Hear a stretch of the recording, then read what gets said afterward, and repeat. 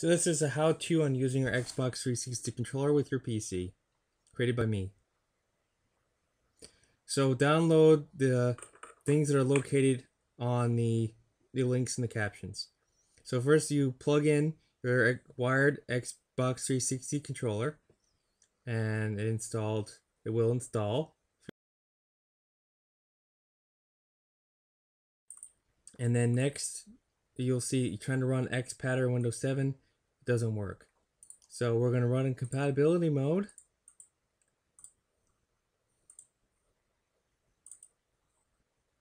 Then you go past the UAC and then you'll do the links the options here as well. You can associate you can associate here if you'd like to. So then we're going to open the configuration file and the file you downloaded. You'll find where that is. It's right there. That's the control there then you're going to um, calibrate your controller.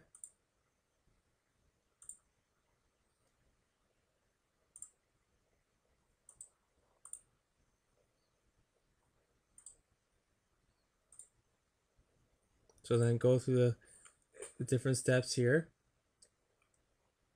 The D-pad is the left stick.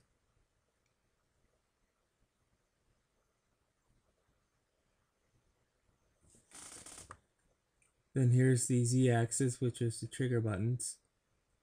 And then X and Y are your right stick.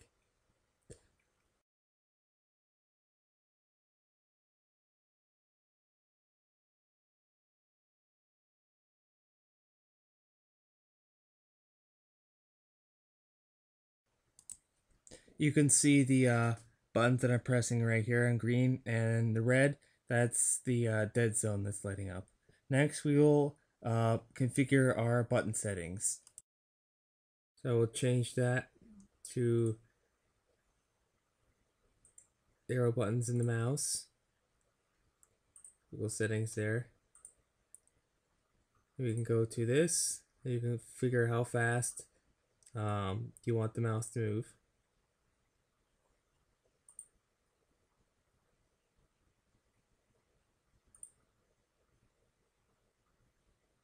Then we can go to things here, and then you could trade the dead zone if your control stick usually has a little bit of wobble in it, so that way your mouse doesn't doesn't move around when you're not um, when your finger's not on the uh, joystick.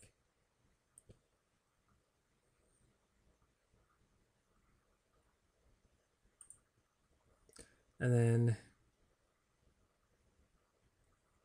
here's a way we can add additional commands to the button press. So if we want to have multiple things happen at once, just don't do the talk and shoot on the same button.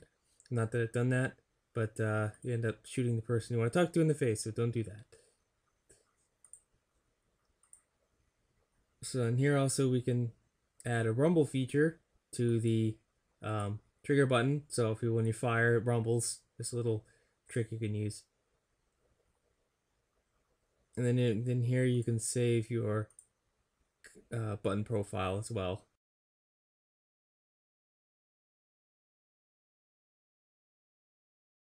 Oh, this is one thing I was wondering if this will work with keyboard commands.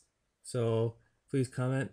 And also, if you're interested in learning how to use Joy2Key uh, to configure key presses to your uh, gaming controller, uh, you can go to my blog link in the video caption.